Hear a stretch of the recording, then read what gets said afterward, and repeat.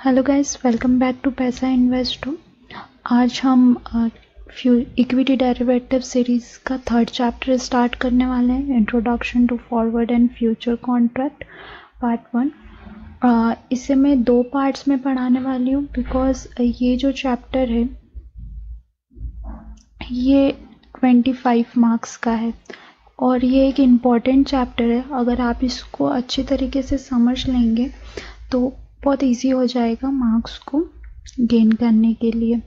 Okay okay, so so, दो part में हम पढ़ने वाले हैं इस चैप्टर्स को। फ़र्स्ट पार्ट में हम क्या पढ़ने वाले हैं?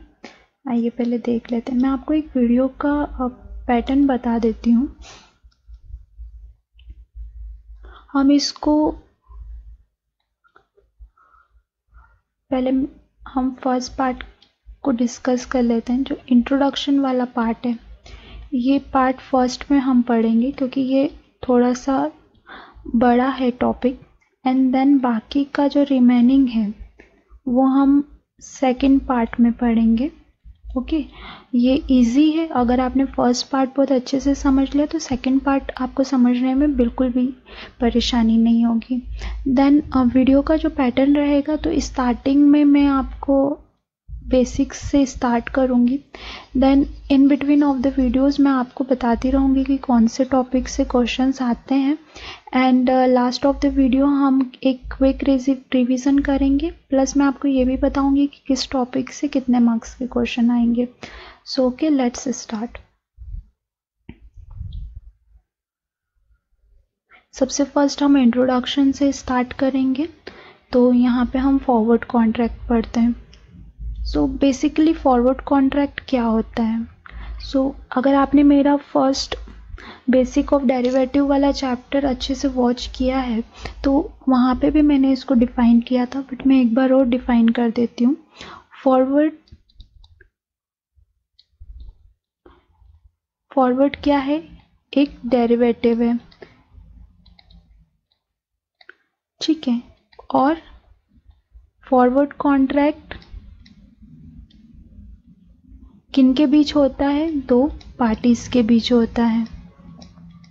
ठीक है, और ये जो दोनों पार्टीज़ हैं, ये आपस में एक एग्रीमेंट बनाती हैं। ओके अब ये एग्रीमेंट किस लीगल होता है? और समटाइम्स ये ऑन कॉल हो सकता है, और मे बी जस्ट बातों में हो सकता है। ओके सो यहाँ पे कोई ऐसा नहीं है कि ये कॉन्ट्रैक्ट ऑलवेज लीगल ही रहेगा। ये दोनों पार्टीज़ आपस में डिसाइड कर लेंगी और कॉन्ट्रैक्ट यहाँ पे बिल्ड हो जाएगा। अब ये दोनों जो पार्टीज़ होती हैं तो एक पार्टी होती है आपकी बायर एंड सेकंड पार्टी होती है आपकी सेलर और ये दोनों पार्टी ही आपस में एक दूसरे के लिए as a counter party behave करती हैं। अब काउंटर पार्टी कौन होती है? तो काउंटर पार्टी फाइनेंशियल मार्केट में हम उन्हें बोलते हैं, जो कि टर्म्स एंड कंडीशन जितनी भी हैं, वो एज इट इज़ फुलफिल की जाए, इसकी इसका ध्यान रखती हैं। कहीं पे कोई भी फ्रॉड ना हो, इसका ध्यान रखती हैं। But in case of forward contract जो दोनों, जो दो पार्टीज़ हैं, एक बायर है, एक सेलर पार्टी है तो वो दोनों एक दूसरे के लिए काउंटर पार्टी होती हैं। हम इसकी एक, जो क्या बोलना चाहिए? टेक्निकल डेफिनेशन है, वो देख लेते हैं बिकॉज़ समटाइम्स डायरेक्ट क्वेश्चन आ जाता है कि forward contract what is forward contract और आपके पास चार ऑप्शन रहेंगे। या फिर आपको ये क्वेश्चन आ जाएगा जस्ट लाइक कि an agreement made directly between two parties to buy और sell an asset on the specific date in the future at the terms decided today तो यहाँ पे आपको फिर फोर ऑप्शन रहेंगे, उसमें से एक राइट right आंसर आपको फॉरवर्ड कॉन्ट्रैक्ट रहेगा। अब इस डेफिनेशन के अकॉर्डिंग आपको क्या समझ में आया कि कोई दो पार्टीज़ आपस में एग्रीमेंट कर लेती हैं आज की डेट में, और उनका जो ट्रांजेक्शन होने वाला रहता है वो फ्यूचर डेट में होने वाला रहता है। जैसे फॉर एग्ज़ाम्पल हम यहाँ पे एक एग्ज़ाम्पल लेते हैं। ओके सो एग्ज़ाम्पल हम ये लेते हैं कि आ, कोई मिस्टर ए है ओके और एक मिस्टर बी है। अब मिस्टर ए बायर हैं इनको राइस परचेस करना है। मिस्टर बी सेलर हैं और इनको राइस जो है वो सेल करना है। ठीक है इनको बाय करना है। ओके सो अब इन दोनों के बीच में एक कॉन्ट्रैक्ट साइन हुआ कि हंड्रेड रुपी पर केजी पे जो है मिस्टर ए मिस्टर बी से राइस बाय करेंगे कब? नेक्स्ट मंथ में। ठीक है। अब क्या होता है कि नेक्स्ट मंथ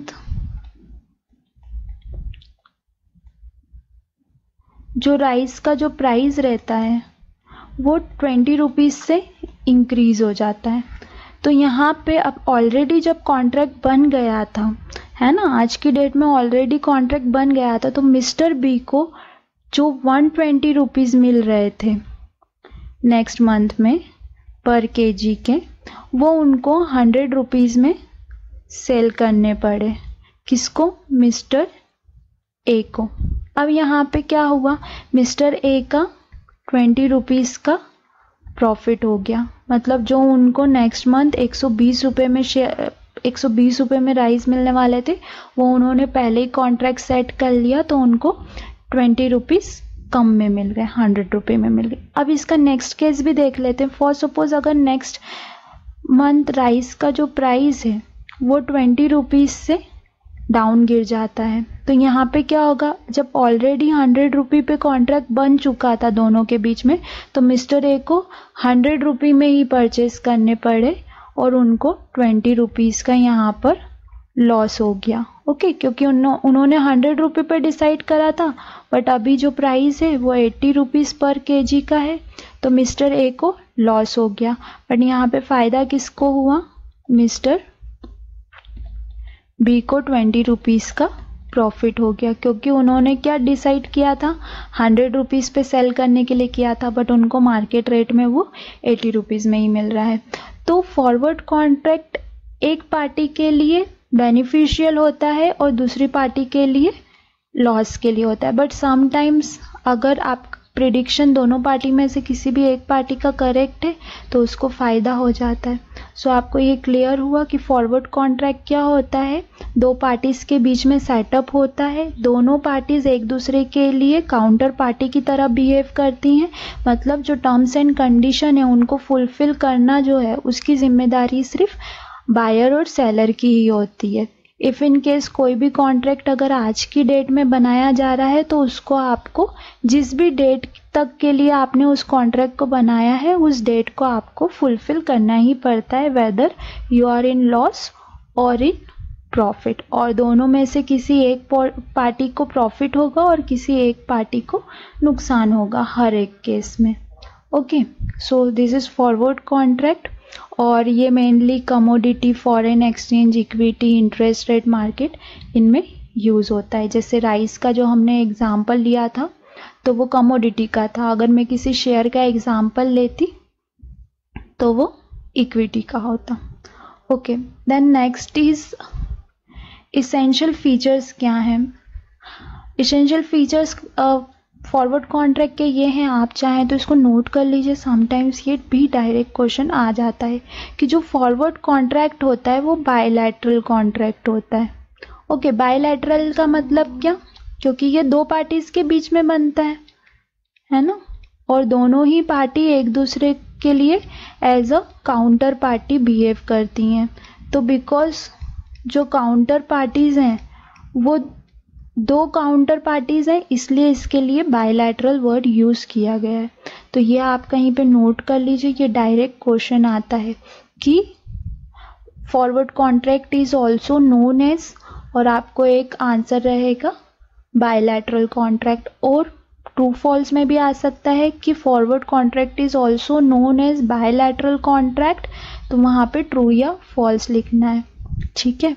सो और then all terms of the contract like price quantity quality underline delivery terms like place settlement procedure etc are fixed on the date of entering into the contract मतलब जिस दिन भी contract बनेगा जिस दिन भी आप कॉन्ट्रैक्ट को साइन करेंगे तो उसी दिन आपको ये सारी टर्म्स जो हैं आपको डिसाइड कर लेनी होगी कोई भी पर्टिकुलर जो भी आप इक्विटी या फिर कमोडिटी या फिर इंटरेस्ट रेट जो, जिस पे भी आप कॉन्ट्रैक्ट सेटअप कर रहे हैं तो उसका प्राइस उसकी क्वालिटी उसकी क्वांटिटी प्लस आप डिलीवरी किस डेट को देने वाले हैं, किस जगह पे देने वाले हैं तो ये जो सारी प्रोसीजर्स हैं, वो आपको जिस दिन आप कॉन्ट्रैक्ट सेटअप करते हैं, उसी दिन आपको बनानी होगी। देन सेकेंड जो फॉरवर्ड कॉन्ट्रैक्ट है, वो बायलैटरल ओवर द काउंटर भी बोला जाता है। ओवर द काउंटर यहाँ पे वर्ड क्यों यूज़ किया? ओवर द कॉन्ट्रैक्ट इसलिए वर्ड यूज़ किया क्योंकि जो भी होता है, वो आज की डेट में टुडे ठीक है, आज की डेट में वो हम कॉन्ट्रैक्ट सेटअप करते हैं। बायर सेलर के साथ करता है सेलर बायर के साथ करता है। तो इसलिए ओवर द काउंटर मतलब एक टेबल पे बैठ के और आपस में दोनों ने एक कॉन्ट्रैक्ट सेट कर लिया। तो इसलिए ओवर द काउंटर बोला जाता है। और बायोलैटरल का मीनिंग मैंने आपको बताया। तो ये भी आप नोट करके रखिए कि forward are bilateral over the counter O T C may be sometimes आपको पूरा फुल फॉर्म लिखा हुआ आएगा over the counter may be आपको ओटीसी लिखा हुआ आएगा। और मे बी आपसे फुल फॉर्म पूछ सकते हैं कि ओटीसी का फुल फॉर्म क्या है। और वन चार ऑप्शन में से एक ऑप्शन करेक्ट रहेगा जो रहेगा ओवर द काउंटर वहाँ पे बहुत सारे कॉम्बिनेशंस uh, होते हैं जो सिमिलर होते हैं like over the counter out the counter तो आपको वो ओवर द काउंटर यहाँ पे ध्यान रखना पड़ेगा। तो ये दो इंपॉर्टेंट चीज़ है इस टॉपिक से कि फॉरवर्ड कॉन्ट्रैक्ट बायलैटरल कॉन्ट्रैक्ट होते हैं। सेकेंड थिंग कि जो भी quality quantity price delivery date ये सब आपको कॉन्ट्रैक्ट जिस दिन सेटअप होता है उसी सेम डेट पे आपको डिफाइन करनी होगी। देन फॉरवर्ड जो है वो बायलैटरल ओवर द काउंटर होते हैं, है ना? क्योंकि बताया सेम डेट में हो जाता है और प्लस जो दो पार्टीज़ रहती हैं, वो दोनों ही एक दूसरे के लिए as a counter party behave करती है। ओके देन नेक्स्ट टॉपिक जो है, वो हमारा लिमिटेशंस हैं कि फॉरवर्ड कॉन्ट्रैक्ट में ऐसी क्या लिमिटेशंस रहीं जिससे कि फ्यूचर कॉन्ट्रैक्ट को लॉन्च किया गया। तो यहाँ पे दो लिमिटेशंस हैं एक लिक्विडिटी और एक काउंटर पार्टी अब लिक्विडिटी रिस्क क्या होती है? सो so, इसको आप ध्यान से समझना बिकॉज़ इस पे भी क्वेश्चन आता है। लिक्विडिटी रिस्क का मतलब क्या होता है? लिक्विडिटी का लिक्विडिटी मतलब आप क्या समझ सकते हैं? अगर हम फाइनेंस के वर्ड में बोलें फाइनेंस की टर्म में बोलें तो लिक्विडिटी का मतलब होता है वॉल्यूम्स ठीक है? वॉल्यूम्स मतलब क्या? Number of buyer and seller ठीक है? जो number of buyer and seller है, इनका जो कैलकुले कैलकुलेशन या जो बायर एंड सेलर मार्केट में सिक्योरिटीज़ को बाय करने के लिए और सेल करने के लिए आ रहे हैं, ठीक है? तो वो लिक्विडिटी डिसाइड कर, अगर ज़्यादा मैक्सिमम बायर सेलर आ रहे हैं तो हाई लिक्विडिटी है। कम बायर सेलर आ रहे हैं तो लो लिक्विडिटी है, ठीक है? तो लिक्विडिटी रिस्क कैसे जनरेट होती थी फॉरवर्ड कॉन्ट्रैक्ट में? बिकॉज़ यहाँ पे ज़रूरी नहीं है कि आपने जो, आप जो कॉन्ट्रैक्ट बनाना चाह रहे हैं और जिस प्राइस पे या जिस क्वालिटी और क्वांटिटी पे आप कॉन्ट्रैक्ट बनाना चाह रहे हैं तो आपको वहाँ पे पर्टिकुलर अगर आप सेल करना चाह रहे हैं तो आपको बायर मिल जाए, या आप बाय करना चाह रहे हैं तो आपको सेलर मिल जाए। तो ये जो रिस्क है तो ये लिक्विडिटी रिस्क कहलाती है। फॉर सपोज़ आपने एक कॉन्ट्रैक्ट आपने पहले बनाया था, है ना? वन मंथ आपने बिफोर एक कॉन्ट्रैक्ट सेट किया था। ठीक है? आपने हंड्रेड रुपीज़ में यहाँ पर कोई शेयर परचेज कर लिया। ठीक है? और अब आप, आपको ऐसा लगा आपने वन मंथ पहले वो हंड्रेड रुपये में वो शेयर इसलिए ख़रीदा था क्योंकि आपको ऐसा लग रहा था कि नेक्स्ट मंथ तक जो है, इसका प्राइस अराउंड वन फिफ्टी तक मुझे मिल जाएगा। ठीक है तो मैं वन फिफ्टी पे इसको सेल कर दूँगा। अब आपको यहाँ पे एज अ सेलर एक कॉन्ट्रैक्ट बनाना है। ठीक है, उसके लिए आपको बायर चाहिए। है ना? बायर को आपको क्या बोलना है कि मुझे वन फिफ्टी रुपीज़ पे ये मैं जो सिक्योरिटीज़ मेरे पास है, ये सेल करना चाहता हूँ। बट यहाँ पे कोई भी, आपने बहुत सारे लोगों से पूछा, पर कोई भी यहाँ पे वन फिफ्टी रुपीज़ पे उस सिक्योरिटीज़ को ख़रीदने के लिए तैयार नहीं यहाँ पे आपने रेट और कम कर दिया वन ट्वेंटी रुपीज़ का कर दिया। फिर भी आपके पास, आपको कोई बायर नहीं मिल रहा है। यहाँ पे और आपने रेट कम कर दिया कि ठीक है, अभी मेरा जिस कॉस्ट से मैंने ख़रीदा था, उसी कॉस्ट से मैं बेच देता हूँ। तो भी आपको यहाँ पे कोई बायर मिल नहीं रहा है। तो ये जो प्रॉब्लम क्रिएट होती है, इसको लिक्विडिटी रिस्क बोला जाता है ओके देन नेक्स्ट है हमारा counter party risk counter party का मीनिंग आप, मैंने आपको बताया था कि वो व्यक्ति या वो इंस्टीट्यूट या वो एंटिटी जो कि, जो भी रिस्क है रिलेटेड टू बाइंग और selling in the forward contract वो उसका ध्यान रखती हैं कि जितनी भी टर्म्स एंड कंडीशंस जो at the time of contract formation दी गई थी कॉन्ट्रैक्ट में तो वो सब कुछ फुलफिल हो रही है या नहीं हो रही है?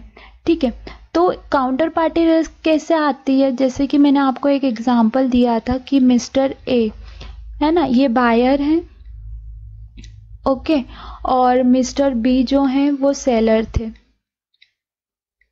सॉरी यहाँ पे मैंने ये लिख दिया। मिस्टर बी जो थे, वो सेलर थे, है ना? इन लोगों ने डिसाइड किया था हंड्रेड रुपी पर केजी का प्राइस राइस का। करेक्ट है। और नेक्स्ट मंथ ये कॉन्ट्रैक्ट जो था वो क्लोज होने वाला था। है ना? आप जो राइस का प्राइस नेक्स्ट मंथ कितना हो गया? वन ट्वेंटी रुपीज़ का हो गया।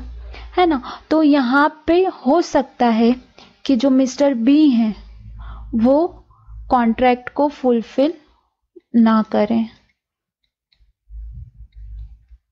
कॉन्ट्रैक्ट को फुलफिल ना करें। बिकॉज़ यहाँ पे क्या है, कोई भी अदर कोई लीगल काउंटर पार्टी नहीं है। है ना? यहाँ पे ए जो है, वो बी के लिए as a counter party behave कर रहा है और बी जो है, वो ए के लिए काउंटर पार्टी बिहेव कर रहा है।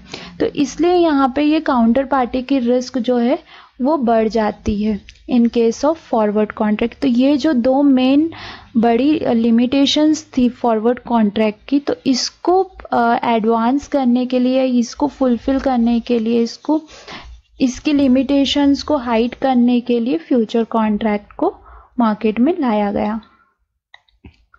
ओके okay, अब हम स्टार्ट करेंगे मेन टॉपिक हमारा फ्यूचर कॉन्ट्रैक्ट ठीक है तो फ्यूचर कॉन्ट्रैक्ट क्या होता है? फ्यूचर कॉन्ट्रैक्ट हमने लास्ट फ़र्स्ट चैप्टर में भी पढ़ा था बट मैं एक और बार आपको रिवाइज कर देती हूँ। Future contract is an agreement made through an organised exchange made through an organised exchange to buy or sell a fixed amount of commodity or financial asset. ठीक है? Fixed amount of commodity or financial asset on the future date. At the agreed price ठीक है? मैं आपको इसका meaning समझाती हूँ। Okay for suppose आपको कॉन्ट्रैक्ट समझ में आ गया कि एग्रीमेंट सेट हो गया बायर सेलर में कि एक मंथ के बाद में या दो मंथ के बाद में हम इस प्राइस पे सेटलमेंट कर लेंगे। बट फ्यूचर कॉन्ट्रैक्ट में क्या होता है? फॉरवर्ड कॉन्ट्रैक्ट में क्या था? कि जो दो पार्टीज़ होती हैं, है ना बायर और सेलर तो यही दोनों एक दूसरे के लिए as a counter party behave करती हैं राइट बट इन फ्यूचर जो काउंटर पार्टी है है ना, जो रिस्क और फ्रॉडेंट को होने से रोकती है तो वो काउंटर पार्टी कौन होता है? कोई ऑर्गेनाइज्ड एक्सचेंज होता है। मतलब आप किसी एक्सचेंज के थ्रू बाइंग या सेलिंग करने वाले हैं। अब हमारे इंडिया में दो एक्सचेंज है। एक एन एक्सचेंज है, एक बी एक्सचेंज है नेशनल स्टॉक एक्सचेंज और बॉम्बे स्टॉक एक्सचेंज तो हम जो भी फ्यूचर में ट्रेड करते हैं, वो इन दोनों एक्सचेंज के थ्रू करते हैं। और अगर कमोडिटी में ट्रेड करना है तो उसके लिए एम सी एक्स है। सो ये वाला जो है, ये कमोडिटी का है। ठीक है?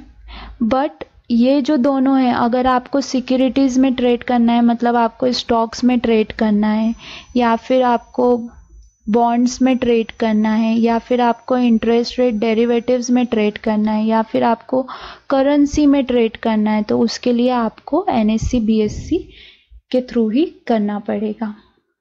Okay then next thing is कि ये कॉन्ट्रैक्ट क्या होता है और ये कैश मार्केट से क्यों अलग है? अगर हमको सिक्योरिटीज़ ही परचेस करनी है तो हम कैश मार्केट में भी तो परचेस कर सकते हैं। इसमें फ्यूचर कॉन्ट्रैक्ट बनाने की क्या ज़रूरत है? राइट तो एक छोटा सा डिफरेंस है। एक्चुअल फ्यूचर कॉन्ट्रैक्ट को मार्केट में बाइंग या सेलिंग करने के लिए लॉन्च नहीं किया गया। इवन डेरिवेटिव्स को भी बाइंग या सेलिंग लॉन्च करने के लिए नहीं किया गया। जो रिस्क जो वॉलीटिलिटी के कारण जो रिस्क जनरेट हो रही थी मतलब जो मूवमेंट हो रहा है सिक्योरिटीज़ का अप एंड डाउन उसके कारण जो रिस्क जनरेट हो रही थी तो उसको मिनिमाइज करने के लिए डेरिवेटिव्स को लॉन्च किया गया कि आज अगर हमको लग रहा है कि नेक्स्ट मंथ तक जो है पर्टिकुलर स्टॉक डाउन साइड आ जाएगा तो हम आज की डेट में उसको सेल कर देते हैं और नेक्स्ट मंथ में हम उसको फिर से रिटर्न बाय कर लेंगे। करेक्ट। तो इसलिए डेरिवेटिव्स को यहाँ पे लॉन्च किया गया। Okay okay. अभी फ्यूचर कॉन्ट्रैक्ट क्या होता है? फ्यूचर कॉन्ट्रैक्ट फ्यूचर कॉन्ट्रैक्ट में भी दो पार्टीज़ के बीच में ही बनता है। ठीक है? एक बायर होता है, एक सेलर होता है। ठीक है? बट यहाँ पे बायर सेलर को नहीं ढूंढता, ना ही सेलर बायर को ढूंढता है। यहाँ पे आपको एक प्लेटफॉर्म प्रोवाइड किया जाता है। आपको एक प्लेटफॉर्म प्रोवाइड किया जाता है, जो कि आपको एक्सचेंज प्रोवाइड करता है, और एक्सचेंज के थ्रू आप बाइंग या सेलिंग करते हैं। अब इस बाइंग और सेलिंग का मतलब क्या होता है? है ना? जैसे कि आज कैश में मतलब जो स्टॉक है, उसका प्राइस चल रहा है। थोड़ा सा मैं इजी नंबर लेती हूँ हंड्रेड रुपीज़ ठीक है? और आपको फ्यूचर में लगता है कि at the end of the month end of the month ये जो है, ये हंड्रेड रुपी का जो प्राइस है, ये वन फिफ्टी के लेवल्स पे आ जाएगा। और आप ये शेयर बेचना नहीं चाहते क्योंकि इसमें रिस्क भी है कि अगर फॉर सपोज़ 150 मतलब ये अगर 150 के भी ऊपर निकल गया तो उस केस में क्या होगा? तो यहाँ पे आप क्या करते हो? ये जो जो मोमेंट आ रहा है शॉर्ट टर्म के लिए, आप उसको फ्यूचर में उसका बेनिफिट उठाना चाहते हो।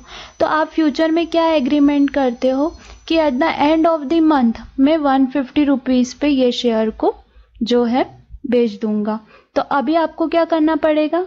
एट प्रेजेंट प्राइस पे हंड्रेड रुपीज़ पे आपको बाय करना पड़ेगा कहाँ पर? फ्यूचर में। क्योंकि फ्यूचर का प्राइस जो रहता है, वो अंडरलाइंग से ही डिराइव्ड होता है राइट तो अभी दोनों का फ्यूचर और कैश का जो प्राइस चल रहा होगा, वो ऑल दो सिमिलर ही चल रहा होगा। तो आप क्या करते हो? फ्यूचर में हंड्रेड रुपी पे अभी बाय कर लेते हो। And at the time of expiry और at the time of exercise मतलब जब भी आपका कॉन्ट्रैक्ट ख़त्म होने वाला है जिस डेट के दिन, उस दिन आप क्या करोगे? आपको 150 का प्राइस एक्सपेक्टेड है तो आप उस दिन इसको सेल करने के लिए ट्राई करोगे। ठीक है? तो ये फ्यूचर कॉन्ट्रैक्ट होता है। इसके लिए आपको कोई बायर सेलर ढूँढने की ज़रूरत नहीं पड़ती। एक्सचेंज पे लिस्टेड होती हैं स्क्रिप्ट्स फ्यूचर्स में तो उन स्क्रिप्ट्स पे आप ट्रेडिंग कर सकते हो। आपको जो फ्यूचर का प्राइस है वो कहाँ से डिफाइन होता है? अंडरलाइंग से मतलब जो कैश में जो सिक्योरिटीज़ का प्राइस चल रहा है स्टॉक का प्राइस चल रहा है तो उससे उसका प्राइस डिफाइन होता है। आई होप कि आपको ये अंडरस्टैंड हुआ होगा। देन फीचर्स ऑफ़ फ्यूचर इसके इसके फीचर्स क्या हैं? जो कॉन्ट्रैक्ट बनता है टू पार्टीज़ के बीच में, वो एक्सचेंज के थ्रू बनता है। ठीक है? तो यहाँ पे ये चीज़ नहीं होती, जैसे हमने फॉरवर्ड में देखा था कि मिस्टर बी जो थे, वो मुकर गए थे अपना हंड्रेड रुपी पे राइस बेचने के लिए, क्योंकि उनको वन ट्वेंटी का प्राइस मिल रहा था। बट यहाँ पे आप ऐसा नहीं कर सकते। यहाँ पे मीडिएटर एक्सचेंज है। अगर आपने वन ट्वेंटी रुपीज़ से सेल किया मतलब सेल करने के लिए आपने बिट रखा है तो आपको 120 पे ही सेल करना पड़ेगा, चाहे मार्केट में प्राइस 150 फिफ्टी रुपीज़ का ही क्यों ना मिले। तो यहाँ पे जो काउंटर पार्टी रिस्क है, वो क्या हो जाती है? ख़त्म हो जाती है। Then centralise trading platform that is exchange मतलब सभी लोगों के लिए एक ही प्लेटफॉर्म रहेगा। ऑल ओवर इंडिया में आप एक ही प्लेटफॉर्म के थ्रू जो है ट्रेड कर सकते हैं। तो लिक्विडिटी रिस्क भी जो है यहाँ पे कम हो जाती है। मतलब अगर एक ही प्लेटफॉर्म है तो जितने भी लोग हैं, वो एक ही जगह पे आएँगे। आपको बायर और सेलर ढूँढने के लिए कहीं और नहीं जाना पड़ेगा। ऐसा नहीं होगा कि महाराष्ट्र से एमपी में व्यक्ति बायर सेलर ढूँढने जा रहे हैं। नहीं, एक ही प्लेटफॉर्म है तो महाराष्ट्र एमपी गुजरात, दिल्ली, हर जगह का व्यक्ति एक ही प्लेटफॉर्म पे अपना प्रोडक्ट जो है या अपना सिक्योरिटीज़ जो है वो बेचने के लिए या ख़रीदने के लिए आएगा तो लिक्विडिटी प्रॉब्लम कम हो जाएगी। ठीक है? जो प्राइस डिस्कवरी हो रहती है, वो free interaction of buyer seller रहती है। मतलब जो जो भी बायर और सेलर के बीच में जो प्राइस डिसाइड हो रहा है, वो इंट्रैक्शन फ्री है। मतलब आपको बायर से मिलने की ज़रूरत नहीं है, ना बायर को सेलर से मिलने की ज़रूरत है। फिर जो मार्जिन रहता है मार्जिन अमाउंट वो पेएबल रहता है बाय बोथ द पार्टीज़ अब ये मार्जिन क्या होता है?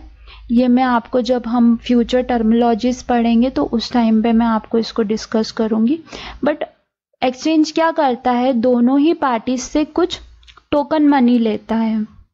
जिससे कि दोनों पार्टीज़ अपना जो भी उन्होंने एग्रीमेंट किया है मतलब जो कॉन्ट्रैक्ट जिस कॉन्ट्रैक्ट में उन्होंने बाइंग और सेलिंग की है तो उससे मुकरे नहीं, उनको वो सेटलमेंट करना ही पड़ेगा। तो इसलिए वो एक सिक्योरिटी मनी लेता है मार्जिन अमाउंट ठीक है देन क्वालिटी डिसाइडेड टूडे मतलब कि जो भी क्वालिटी प्रोडक्ट की जो क्वालिटी रहेगी यही लाइक नंबर ऑफ़ क्वांटिटी आपको कितनी प्रोवाइड करनी है, या फिर अगर आप कमोडिटी पे कर रहे हैं तो आपको कितना अमाउंट का प्रोवाइड करना है तो वो सब उसी दिन स्टैंडर्डाइज रहती है। स्टैंडर्डाइज का मीनिंग ये रहता है कि एक्सचेंज ही डिसाइड करता है। फॉर एग्ज़ाम्पल अगर मैं गोल्ड की बात करूँ ठीक है? तो गोल्ड का जो लॉट साइज़ है वो हंड्रेड का है। और सॉरी टेन ग्राम का है। है ना? मतलब मिनिमम आपको टेन ग्राम परचेज करना ही पड़ेगा मिनी का। और अगर आप मेगा खरीदते हैं तो यहाँ पे आपको वन के जी गोल्ड खरीदना ही पड़ेगा। तो ये जो होता है, ये ऑलरेडी डिसाइडेड रहता है। मुझे ये कमोडिटी का इतना नहीं है। लॉट साइज़ का बट हाँ फिर भी इतना ही कि लाइक एक्सचेंज डिसाइड करता है कि कितना क्वांटिटी में आपको ख़रीदना है। फॉर सपोज़ अगर मैं इक्विटी की बात करूँ तो जैसे निफ्टी है तो निफ्टी इंडेक्स जो है उसका 75 का लॉट साइज़ है। ओके okay, अगर मैं रिलायंस इंडस्ट्री के शेयर की बात करूँ तो रिलायंस इंडस्ट्री का जो फ्यूचर का लॉट साइज़ है वो 505 का है।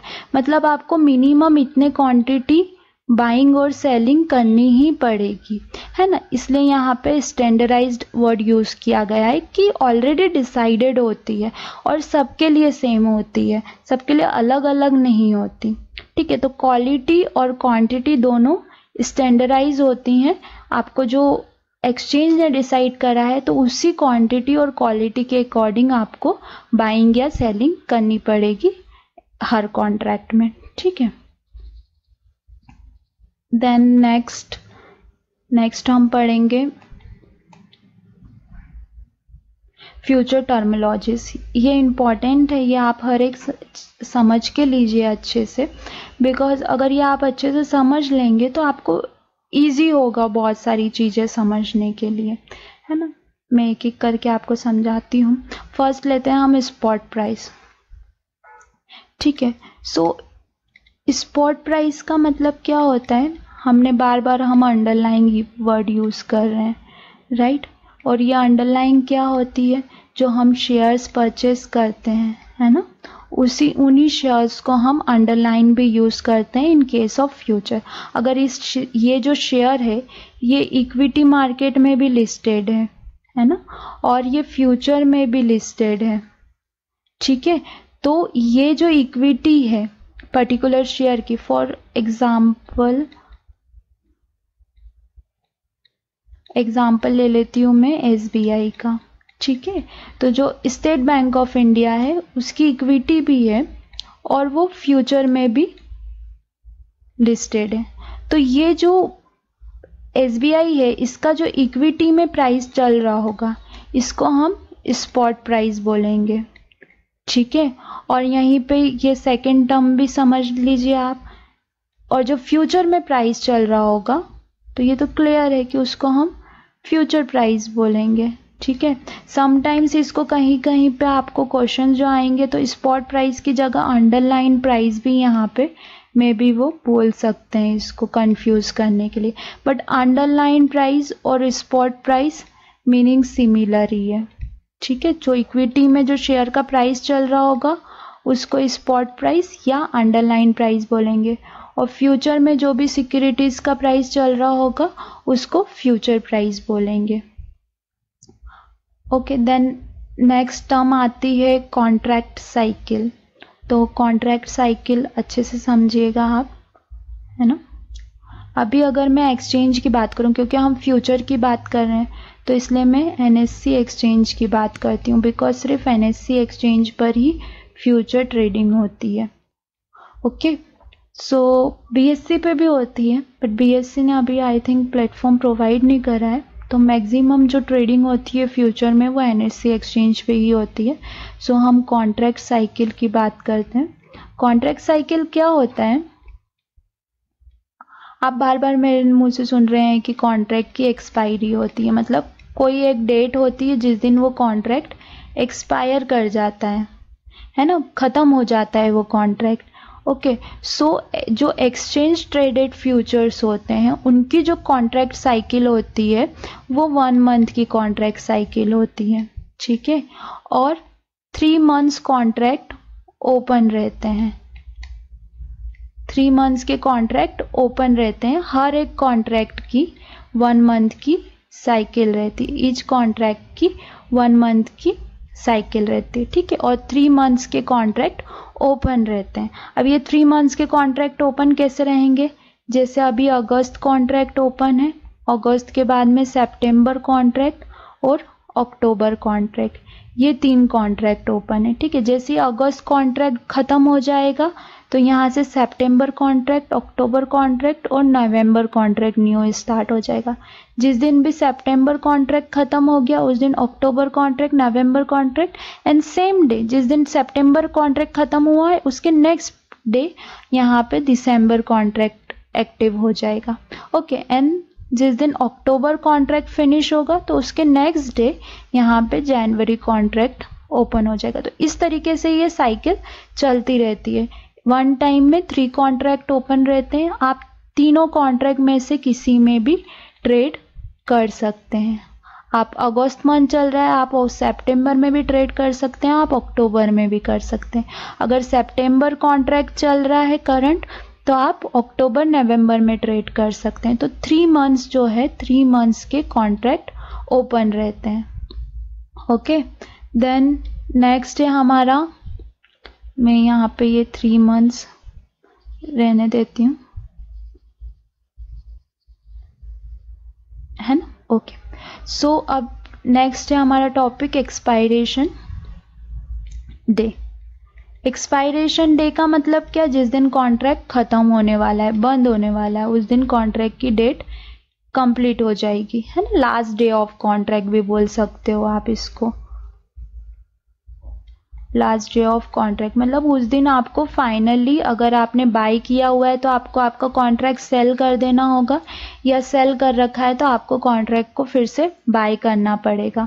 तो ये होता है last day of the contract three months के लिए ओपन रहता है तो ये last day of the contract कब होता है? जो भी लास्ट थर्सडे रहेगा। ठीक है, ये क्वेश्चन आता है लास्ट थर्सडे जो रहेगा मंथ का तो उस दिन कॉन्ट्रैक्ट आपका एक्सपायर होगा। आप चाहें तो कैलेंडर चेक कीजिए। अभी जो अगस्त मंथ की एक्सपायरी आएगी, अगस्त 2020 की, वो ट्वेंटी सेवेंथ अगस्त को एक्सपायरी है। ठीक है? मतलब अगस्त कॉन्ट्रैक्ट जो है 2020 का वो ट्वेंटी सेवेंथ आज सेवेंथ ऑफ़ अगस्त थे तो twenty seventh August twenty twenty को कॉन्ट्रैक्ट जो है वो ख़त्म हो जाएगा। तो जितने भी फ्यूचर बायर्स हैं, है ना, जिन्होंने फ्यूचर अगस्त कॉन्ट्रैक्ट में बाय किया हुआ था, है ना तो उनको एक्सपायरी के दिन या एक्सपायरी से पहले कभी भी अपने कॉन्ट्रैक्ट को सेल करना पड़ेगा।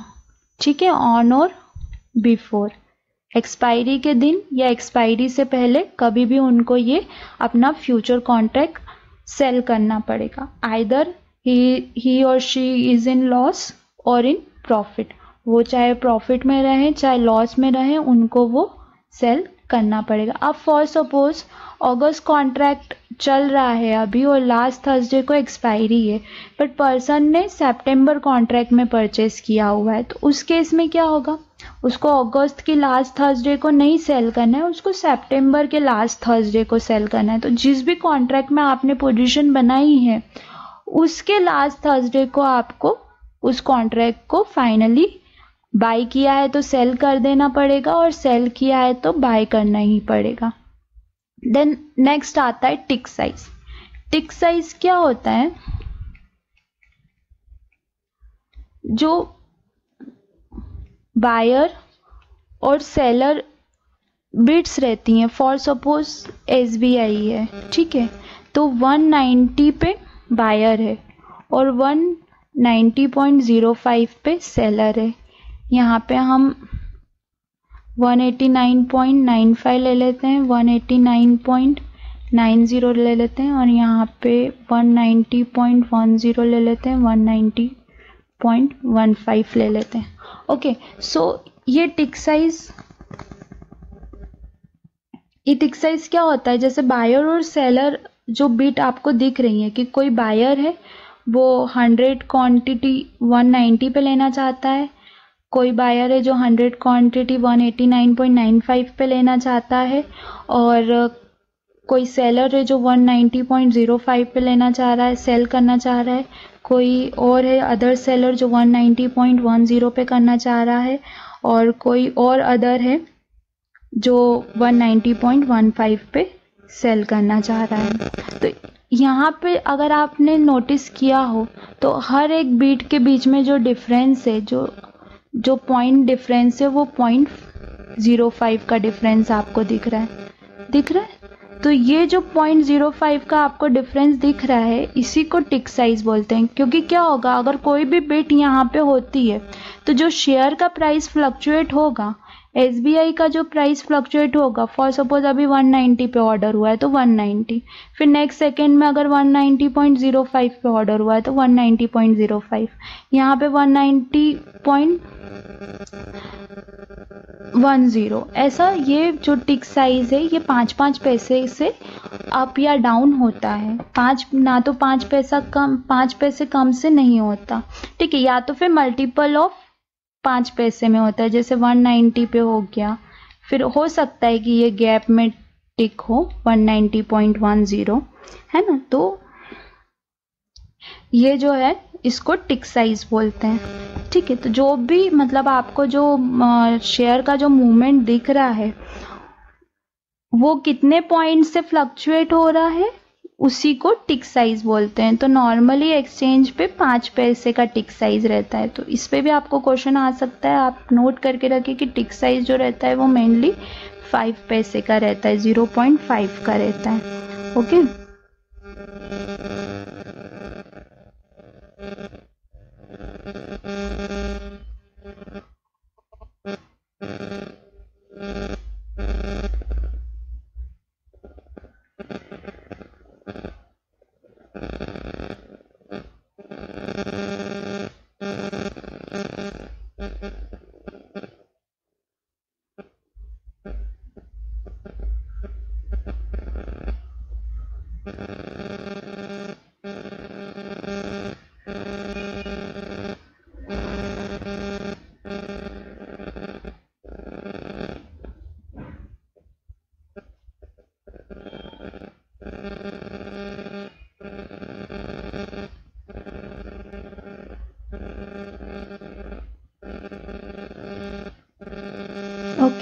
सो uh, इसी से मिलता जुलता एक और uh, छोटा सा टॉपिक है वो भी अगर आप यहाँ पे समझ लेंगे तो अच्छा होगा क्योंकि उस पर क्वेश्चन आता है।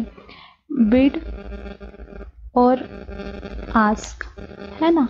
तो जो आस्क प्राइस होती है ठीक है? तो आस्क प्राइस पे क्या होता है? बायर्स होते हैं। यहाँ पे बायर्स होते हैं। For suppose hundred hundred and ten और हंड्रेड एंड फिफ्टीन मतलब यहाँ पे बायर बैठे हुए हैं बाय करने के लिए, ठीक है? और जो बिड प्राइस रहती है तो बिड प्राइस पे सेलर्स रहते हैं। Hundred and five hundred and sorry यहाँ पे मैंने मिस्टेक कर दिया। नीचे जाएगा ninety nine point nine five ninety nine point nine zero है ना लोअर रेंज पे रहेगा और यहाँ पे ये हायर रेंज पे आएगा हंड्रेड पॉइंट वन फाइव ठीक है सो ये जो आस्क प्राइस है तो ये यहाँ पे बायर्स हैं, जो बाय करना चाहते हैं सिक्योरिटीज़ तो ऑलवेज जो बायर रहता है, उसकी क्या टेंडेंसी रहती है कि उसको लो प्राइस पे बाय करना है राइट और जो सेलर रहता है, उसकी क्या टेंडेंसी रहती है कि उसको हाई प्राइस पे सेल करना है बिकॉज़ तभी वो लोग प्रॉफिट में आएँगे ना। तो यहाँ पे बिड और आस्क का अगर आपसे कोई पूछता है तो ये जो बिड रहती है, ये सेलर बिट्स रहती हैं और जो आस्क रहती हैं, वो बाय बिट्स रहती हैं, ठीक है? बट अगर हम आस्क प्राइस की बात करें तो ये क्या होती है? बेस्ट सेलर प्राइस ठीक है? यहाँ पे कंफ्यूजन क्रिएट होता है कि मैंने तो बाय बोला था तो फिर सेल क्यों मैं ऐसा बोल रही हूँ बेस्ट सेलर प्राइस क्योंकि अगर सेलर को डायरेक्टली मार्केट रेट से सेल करना है तो उसको इस प्राइस पे सेल करना पड़ेगा। तो इसलिए इसको बेस्ट सेलर प्राइस बोला जाता है। और जो ये वाला प्राइस है, इसको बेस्ट बायर प्राइस बोला जाता है। मतलब कि अगर बायर को मार्केट रेट से बाय करना है तो उसको इस प्राइस पे बाय करना पड़ेगा। ओके तो आपको कहीं पे भी क्वेश्चन आता है कि ask price that means best seller price और बिड प्राइस मतलब बेस्ट बायर प्राइस मुझे जस्ट ध्यान आया बिकॉज़ मैंने जब एग्ज़ाम दी थी तो ये क्वेश्चन आया था ask and bid and I was confuse कि आस्क बायर्स के लिए होता है और बिड सेलर के लिए होता है तो I tick the best buying price but it's wrong वो बेस्ट सेलर प्राइस था. सो so, आप ध्यान रखिएगा bid and ask okay then next जो है हमारा वो है contract size okay so contract size और कॉन्ट्रैक्ट वैल्यू इसको एक और वर्ड बोला जाता है लॉट साइज़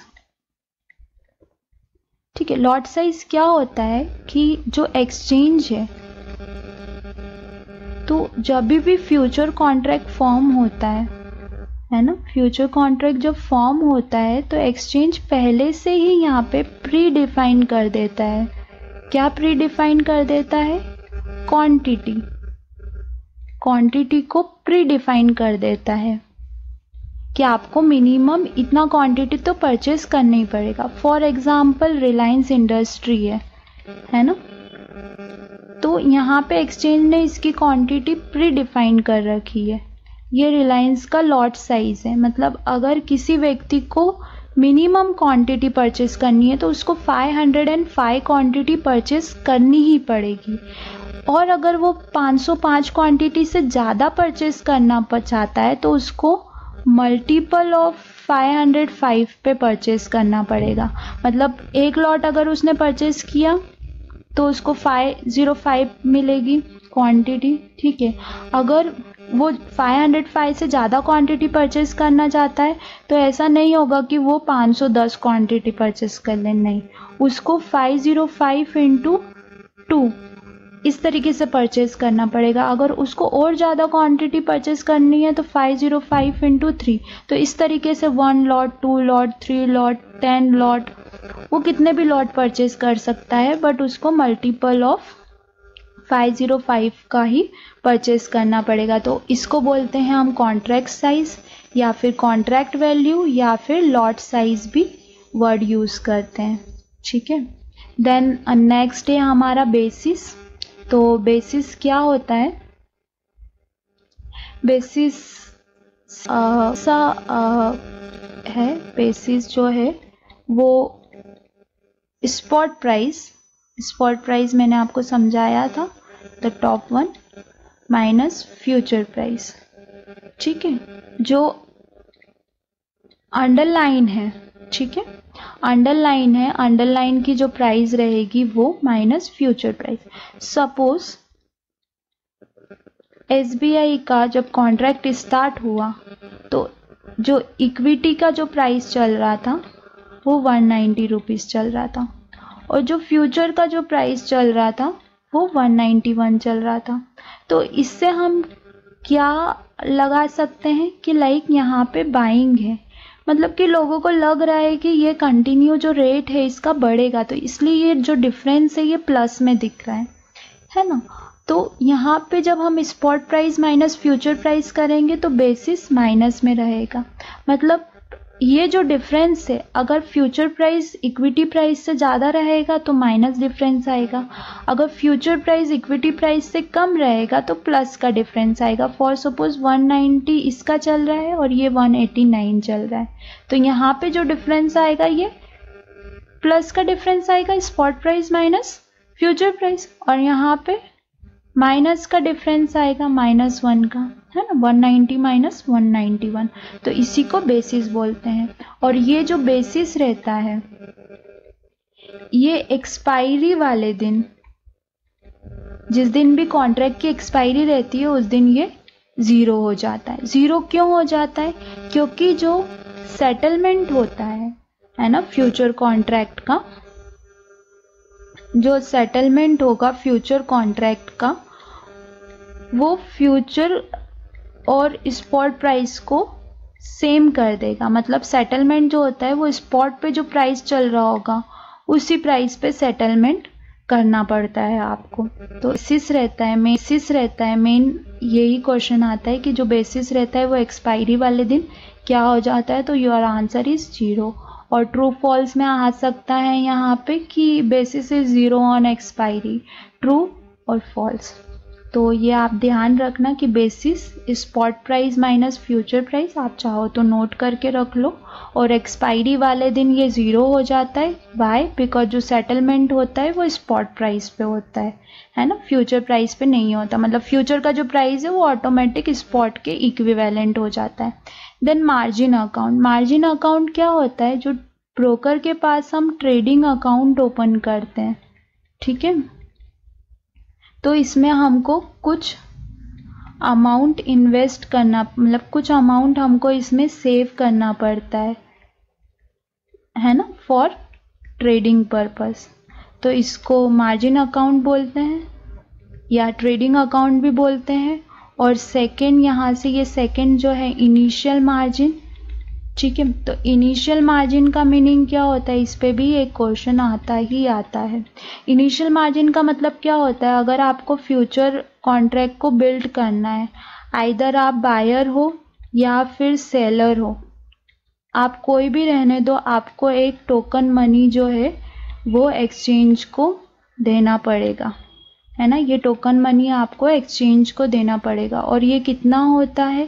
पहले ये टेन परसेंट था बट अब सेबी ने फ़र्स्ट अगस्त 2020 से कुछ रूल्स में चेंजेस लाया है, जो कि आई थिंक फ्यूचर में फ़र्स्ट दिसंबर 2020 से एप्लीकेबल होंगे। दिसंबर 2020 से एप्लीकेबल होंगे। तो उन्होंने क्या बोला है कि अब जो रहेगा, अब वॉलेटिलिटी के अकॉर्डिंग मार्जिन कट होगा। मतलब जितना ज़्यादा स्टॉक वॉलेटाइल होगा, जितना ज़्यादा ऊपर नीचे की तरफ़ मूव करेगा, उतना ज़्यादा आपको मार्जिन पे करना पड़ता है। And this margin varies to twenty percent to fifty percent ये कहीं पे भी वेरी कर सकती और maybe more than fifty percent उन्होंने यहाँ पे दोनों दिए हैं। ठीक है तो अब पहले अभी तक तो टेन परसेंट ज़्यादा से ज़्यादा twenty percent thirty percent it's also vary from ten to thirty वो वॉलेटिलिटी पे ही डिपेंड था। बट अब उन्होंने कम्प्लीटली इसको VaR plus E E L M अब आपके लिए ये होमवर्क है कि ई एल एम क्या होता है। ऐसा नहीं है कि मुझे नहीं पता है बट चलिए आप कहाँ होमवर्क करेंगे। एक्सट्रीम लॉस मार्जिन बोला जाता है इसे। ठीक है? तो अब आपको पहले सिर्फ़ VaR margin ninety nine percent VaR margin पे ही डिपेंड था, बट अब आपको एक्सट्रीम लॉस मार्जिन मतलब आपको मैक्सिमम उस दिन में कितना लॉस हो सकता है, वो plus VaR value at risk. Value at risk. ये दोनों मार्जिन आपको प्रोवाइड करनी पड़ेगी किससे एक्सचेंज को।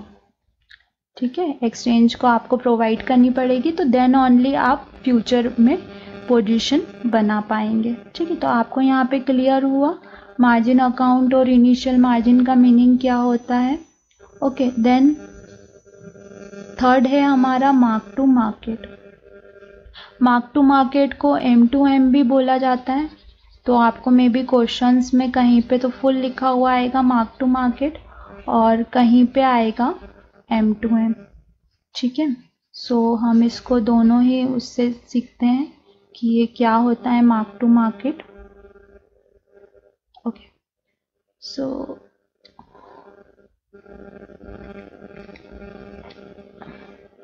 है ना एम टी एम या कहीं कहीं पे आपको एम टू एम भी बोला जाता है, या कहीं कहीं पे ये मार्क टू मार्केट ठीक है तो क्वेश्चन में आपको तीनों तरीके से कैसे भी पूछा जा सकता है। तो मार्क टू मार्केट का मतलब क्या होता है? जैसे आपने फ्यूचर खरीदा है आ, कोई भी ए बी सी लिमिटेड का ठीक है? और ये फ्यूचर आपने हंड्रेड रुपीज़ में बाई किया है ठीक है? आपने ये फ़र्स्ट अगस्त 2020 को बाई किया है ठीक है? अब ये जो जब 9:15 पे मार्केट ओपन हुआ, तब इसका हंड्रेड रुपी चल रहा था और आपने इसको बाई कर लिया। है ना? यहाँ पे आपने इसको बाइंग किया है। ठीक है, और ये क्लोजिंग के टाइम पे आपको पोजीशन आपने होल्ड की है। अब ये क्लोजिंग के टाइम पे क्या होता है?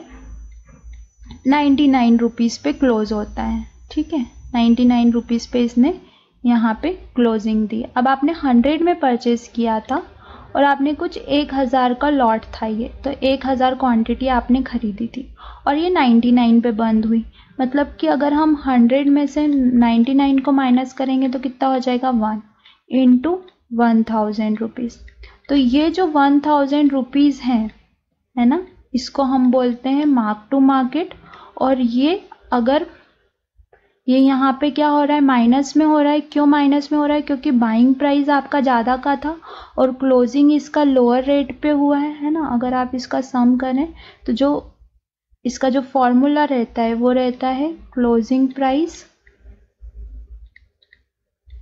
minus buying price और सेलिंग में डिफरेंट रहेगा। सेलिंग में अपोजिट रहेगा। Selling price minus closing price. But इससे बेटर है कि आप ऐसे समझिए कि आपने ख़रीदा दस, सौ रुपये से था और आपके रेट से नीचे की तरफ़ क्लोज हुआ। मतलब आपकी आपकी जो कंडीशन थी स्टॉक को बाई करने की, आपने किस कंडीशन पे बाई किया था कि ये ऊपर जाना चाहिए प्लस होना चाहिए। हंड्रेड से hundred and one hundred and two की तरफ़ जाना चाहिए। बट ये क्लोजिंग कहाँ दिया? नाइन्टी नाइन पे क्लोज दिया। मतलब आपकी कंडीशन से अपोजिट में क्लोज दिया। तो इसलिए यहाँ पर आपको क्या हुआ? माइनस थाउज़ेंड रुपीज़ मतलब आपकी पोजीशन एक हज़ार माइनस पॉइंट में, माइनस रुपीज़ में बंद हुई है। तो ये जो मार्क टू मार्केट होता है, ये आपको पे करना पड़ता है, ये आपको देना पड़ता है एक्सचेंज को at the closing of the day. तो ये कैसे जाता है? मैंने बताया था ट्रेडिंग अकाउंट ट्रेडिंग अकाउंट में आप कुछ मनी आपको सेव करना पड़ता है, आपको कुछ फंड वहाँ पे अवेलेबल करना पड़ता है तो ये उधर से मार्क टू मार्केट माइनस हो जाता है। अभी ये तो एक बाइंग का केस हो गया। अब फॉर सपोज़ यहीं पे अगर आपने हंड्रेड रुपी पे सेल किया होता और नाइन्टी नाइन रुपीज़ पे ये क्लोज होता मतलब आपने ऊपर से सेल किया है। ओके ये भी एक हम एग्ज़ाम्पल समझ लेते हैं। ठीक है, एक ट्रेड कैसे सेटअप होता है पहले इसको समझिए। है ना? आपने बाय किया है है ना? जब आप इसको सेल कर देंगे तो ये आपका एक ट्रेड हो जाएगा। अब यहाँ पे बाय कंडीशन क्या होती है? लोअर प्राइस पे आपको बाय करना होता है राइट right? और हायर प्राइस पे आपको सेल करना होता है। तभी आपको क्या मिलता है? प्रॉफिट होता है। करेक्ट आप तो ही प्रॉफिट कमा पाते हैं। अब आपने पहले बाय किया था और फिर सेल करा। अगर मैं इस कंडीशन को अब पहले कर दूँ कि पहले आपने सेल किया है और आपने बाय कर लिया लोअर प्राइस पे हायर प्राइस पे सेल किया और लोअर प्राइस पे आपने बाय कर लिया तो भी तो आप प्रॉफिट में हो। करेक्ट कैसे? शेयर चल रहा था हंड्रेड रुपी आपने बाय किया हंड्रेड एंड टू गया हंड्रेड एंड फोर गया हंड्रेड एंड फाइव गया, आपने सेल कर दिया राइट अब अगर ये हंड्रेड एंड फाइव पे से अगर आपने पहले सेल किया हो तो फॉर सपोज़ शेयर प्राइस चल रहा था हंड्रेड एंड फाइव रुपीज़ का, और आपने इसको वहाँ से सेल कर दिया, और स्टॉक जो है वो स्लिप होना स्टार्ट हो गया hundred and four hundred and two hundred और यहाँ पे जैसे हंड्रेड पे आया, आपने बाय कर लिया। तो ये क्या हो गया? Hundred and five higher price पे आपने सेल किया था और लोअर प्राइस पे आपने बाय कर लिया। आपका प्रॉफिट का फॉर्मूला क्या होता है? सेल माइनस बाय यही होता है। प्रॉफिट का फॉर्मूला हमने आई थिंक एट्थ या टेंथ में पढ़ा था। S P minus C P cost price selling price minus cost price तो सेलिंग प्राइस था हमारा हंड्रेड एंड फाइव रुपीज़ का और हमने हंड्रेड पे उसको फिर से बाई किया। तो यहाँ पे हमको प्लस फाइव पॉइंट मिल गए, ठीक है? तो ये जो होता है, ये first sell then buy condition है। और आप ये भी कंडीशन ले सकते हैं फ़र्स्ट बाय देन सेल तो यहाँ पे आप दो तरीके से ट्रेड सेटअप कर सकते हैं। एक तो आप पहले सेल कर सकते हैं, या फिर आप पहले बाय भी कर सकते हैं। बट आपका जो ट्रेड कंप्लीट एक ट्रेड बनेगा। आपका प्रॉफिट बुकिंग कब होगा? अगर आपने सेल किया है तो आपको फिर से बाय करना पड़ेगा। या आपने बाय कर रखी है पोजीशन तो आपको फिर से उसे सेल करना पड़ेगा। तो यहाँ पे आपका एक पूरा कंप्लीट ट्रेड सेटअप होगा। तो फ्यूचर के केस में वही होता है। फॉर सपोज़ अगर आपने हायर प्राइस पे इसको सेल किया है और वो लोअर पोजीशन पे क्लोज होता है तो तो आपका मार्क टू मार्केट जो आपका टोकन मनी आपने दिया है तो उसमें कुछ मनी ऐड हो जाएगा।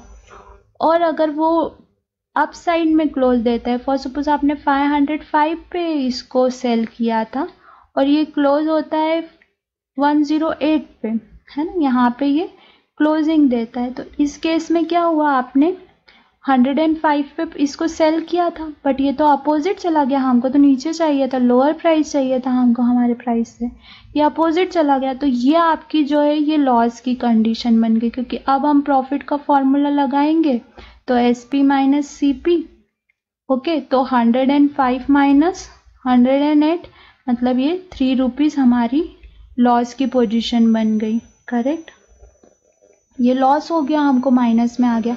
तो अब क्या होगा, अगर थाउज़ेंड क्वांटिटी थी आपके पास तो तीन हज़ार रुपये आपके अकाउंट से डेबिट हो जाएँगे। तो मार्क टू मार्केट भी आपको फ्यूचर में मेंटेन करना पड़ता है। इसलिए बहुत सारे लोग बोलते हैं वेरी हाई रिस्क की, ऐसा होता है, वो होता है। बट उसको सही तरीके से यूज़ किया जाए प्रॉपर हेज किया जाए या आर्बिट्रेज में यूज़ किया जाए तो future is the good one but आपको उसके लिए पहले कंप्लीट नॉलेज होना ज़रूरी है।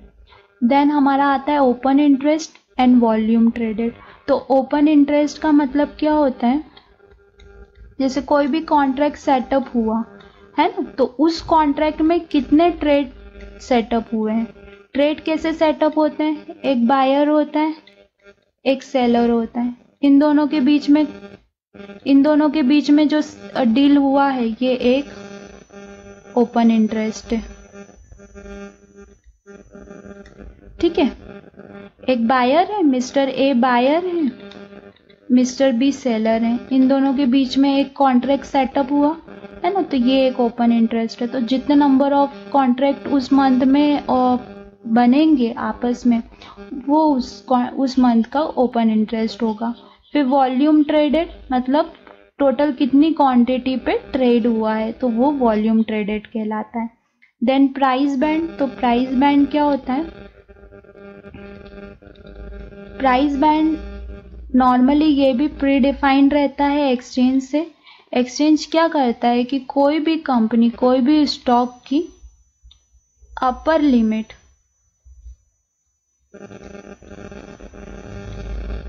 और लोअर लिमिट पहले से ही डिसाइड कर देता है। ये इसलिए करता है ताकि वो ज़्यादा ब्रेक ना हो। ठीक है? अपर लिमिट और लोअर लिमिट अब ये क्या हो, ये किस पे डिपेंड करती है? तो जो स्टॉक जितना ज़्यादा वॉलेटाइल होता है, उसके हिसाब से यह अपर लिमिट और लोअर लिमिट डिसाइड होती है। कुछ स्टॉक्स की फाइव परसेंट की रहती है, कुछ स्टॉक्स की टेन परसेंट की रहती है, कुछ स्टॉक की ट्वेंटी परसेंट की रहती है, कुछ स्टॉक्स की फिफ्टीन परसेंट की रहती है। तो ये प्राइस बैंड हो गया। अपर लिमिट और लोअर लिमिट जो पहले से एक्सचेंज डिसाइड कर देता है, उसको हम प्राइस बैंड बोलते हैं। मतलब हायर और लोअर लिमिट्स को एक्सचेंज सेट कर देता है कि ऊपर गया तो ज़्यादा से ज़्यादा इतना ऊपर जाएगा ये और नीचे गया तो ज़्यादा से ज़्यादा इतना नीचे जाएगा। अब नेक्स्ट है कॉस्ट ऑफ़ कैरी इस पर भी एक क्वेश्चन आता है तो इसको हम एक सेपरेटली ही इसको पढ़ेंगे। कॉस्ट ऑफ़ कैरी क्या होता है? जो स्पॉट प्राइस और फ्यूचर प्राइस में जो रिलेशन होता है उसको हम कॉस्ट ऑफ़ कैरी बोलते हैं। ठीक है? और आप अगर इसको बहुत ज़्यादा नहीं समझना चाहते, बस आप सिर्फ़ एग्ज़ाम के हिसाब से समझना चाहते हैं तो कॉस्ट ऑफ़ कैरी का ये फॉर्मूला है। आप इसको ध्यान रखिए, जो interest paid minus dividend receive ये कॉस्ट ऑफ़ कैरी होता है नेट कॉस्ट ऑफ़ कैरी ठीक है?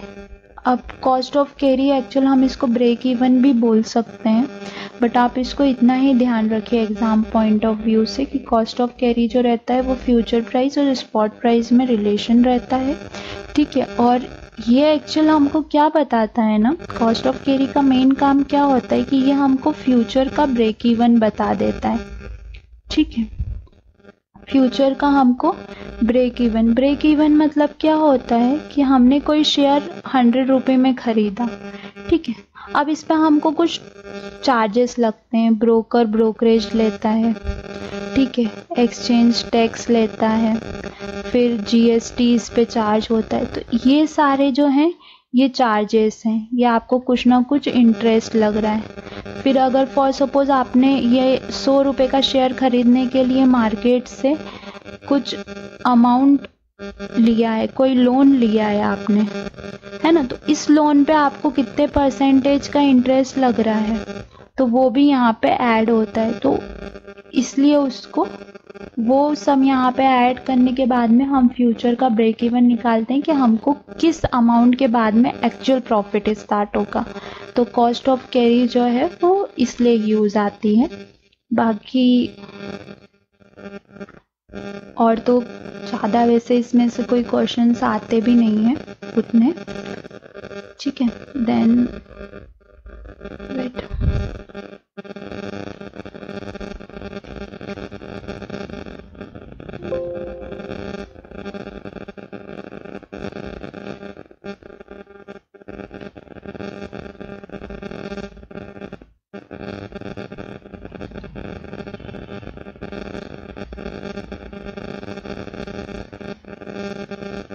ओके okay, अभी ये पोजीशंस हैं. डेरिवेटिव में कौन कौन सी पोजीशंस बन सकती हैं? ठीक है तो डेरिवेटिव्स मार्केट में long position short position open position opening a position closing a position next position और calendar spread position calendar spread अच्छे से समझना। ये एज इट इज़ क्वेश्चन आता है यहाँ से कैलेंडर स्प्रेड के ऊपर। ठीक है? अभी मैं स्टार्ट ही कैलेंडर स्प्रेड से करती बट पहले आपको लॉन्ग और शॉर्ट पोजीशन समझना होगा।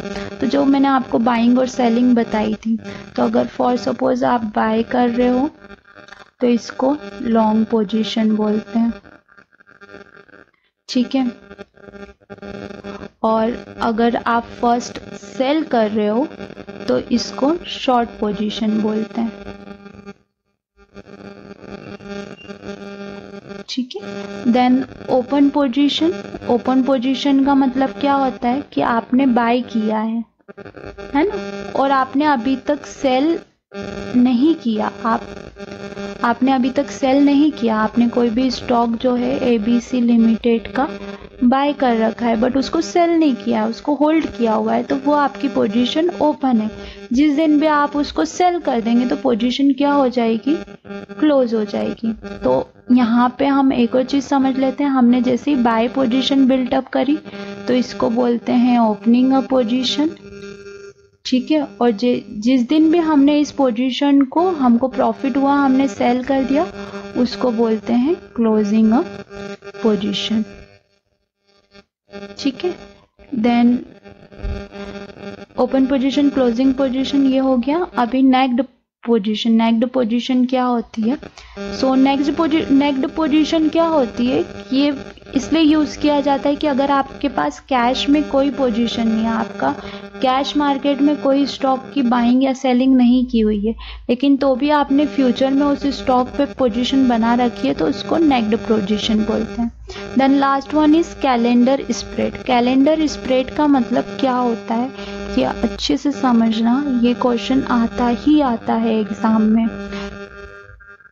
कैलेंडर स्प्रेड में क्या करते हैं? स्प्रेड से आपको समझ में आ रहा है छिड़काव, या दूर दूर तक फैला हुआ, है ना? ऐसे ही कुछ तो सेम उसी तरीके से फ्यूचर में भी इसको यूज़ किया जाता है कैलेंडर स्प्रेड को। कैलेंडर स्प्रेड क्या होता है? जैसे कि तीन कॉन्ट्रैक्ट ओपन है है ना? और अक्टूबर तो आप क्या करते हो कैलेंडर स्प्रेड में?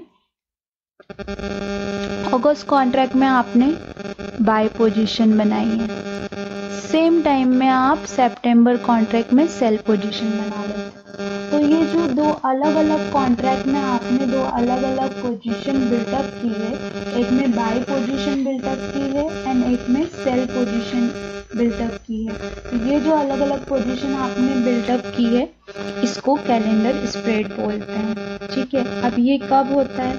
जैसे कि सपोज़ अगर मार्केट ज़्यादा फ्लक्चुएट हो रहा है है ना? तो ये कब यूज़ आता है? जैसे मार्केट फ्लक्चुएट हो रहा है, दोनों तरफ़ घूम रहा है बाइंग में भी घूम रहा है और सेलिंग में भी घूम रहा है। आपने बाय कर रखा है है ना? और ये कंटिन्यूस अपसाइड मूवमेंट कर रहा है मार्केट ठीक है? तो आपकी ये जो सेल पोजीशन है, इसके तो फेवरेबल नहीं है ये कंडीशन बट आपकी जो बाय पोजीशन है, उसके फेवरेबल है। तो इस केस में क्या होगा, जहाँ, जितना आपको यहाँ पे आप प्रॉफिट कमा रहे हो, उतना ही आप यहाँ पे लॉस ले रहे हो।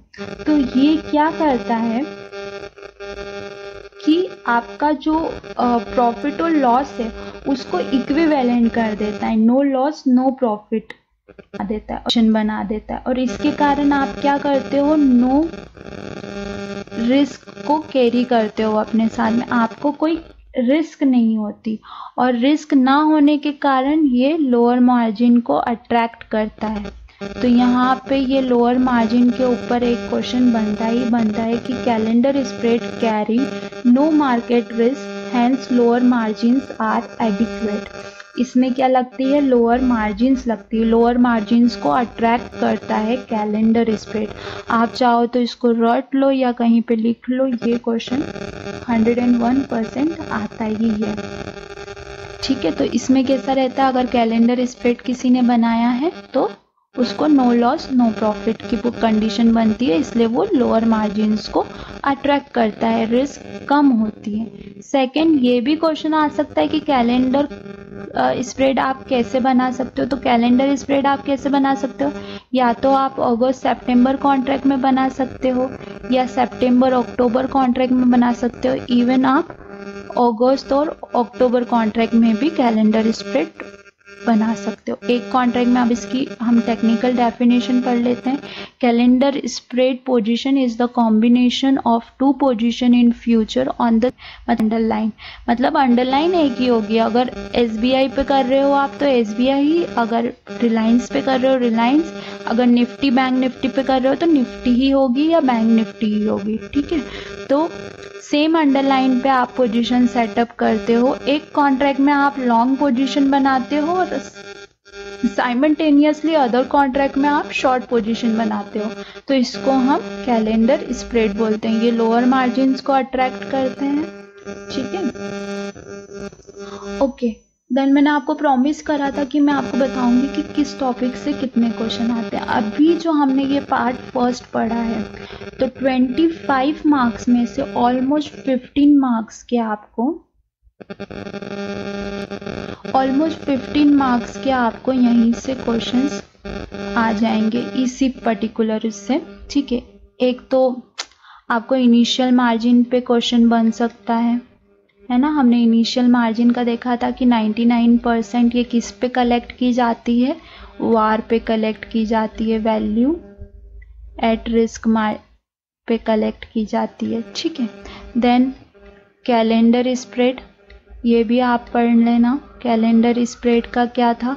कि ये लोअर मार्जिन्स को अट्रैक्ट करते हैं, ठीक है?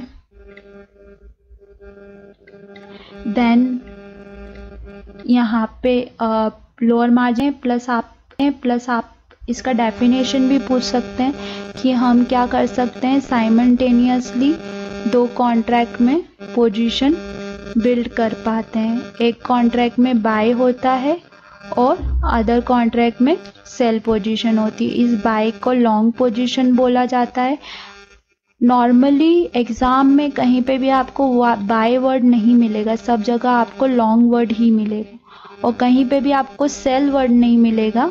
शॉर्ट ही मिलेगा। ठीक है? और हमने एक और चीज़ पढ़ी कि मार्जिन जो रहेगा तो मार्जिन अमाउंट कैसा रहेगा? टेन परसेंट मार्जिन रहता है। टू थर्टी परसेंट वेरी करता है। ये कैलकुलेट कैसे होगा? फॉर सपोज़ कोई स्टॉक है, उसका जो लॉट साइज़ है, वो थाउज़ेंड क्वांटिटी का है और शेयर का जो प्राइस है, वो हंड्रेड रुपीज़ पर चल रहा है। तो टोटल अमाउंट कितना होगा? वन लैख तो वन लैख का आपको, हम मान लेते हैं फिफ्टीन परसेंट आपको मार्जिन पे करना पड़ेगा। ये हो सकता है क्वेश्चन आपको आ जाए कि कितना मार्जिन आपको पे करना पड़ेगा। तो ये आप नोट कर सकते हैं। प्लस मैंने एक बिड और आस्क आपको बताया था। तो बीड एंड आस्क वाला भी आप अच्छे से रिवाइज करें। इसमें से भी एक क्वेश्चन आता है। देन डायरेक्ट फॉरवर्ड कॉन्ट्रैक्ट की डेफिनेशन यहाँ से पूछ ली जाती है। Okay okay. और फ्यूचर की भी डायरेक्ट समटाइम्स डेफिनेशन पूछ लेते हैं बट ये बहुत रेयर होता है। इनडायरेक्ट वे में ही वो क्वेश्चंस पूछते हैं। तो almost I think six two seven questions तो मैंने ही आपको बता दिए। तो फिफ्टीन मार्क्स के क्वेश्चंस यहाँ से इस introduction of forward and future contract से ही कवर हो, हो जाते हैं। अब नेक्स्ट पार्ट में हम payoff chart okay then uses of future future pricing और commodity equity and currency future हम डिस्कस करेंगे. So thank you for today आज का सेशन हम यहीं पे uh, ख़त्म करते हैं. उम्मीद करती हूँ कि ये सेशन आप लोगों को पसंद आया होगा. अगर हाँ तो प्लीज़ मेरे चैनल को सब्सक्राइब करें एंड बेल आइकन को हीट करें. एंड वीडियो आपको अच्छा लगा है तो प्लीज़ लाइक को भी हीट करें. एंड अपने फ्रेंड्स की भी हेल्प करें, उन्हें भी ये वीडियो ज़रूर शेयर करें, ताकि उन्हें उन्हें भी फ्री ऑफ़ कॉस्ट में एक अच्छा सर्टिफिकेशन कोर्स करने को मिल जाए।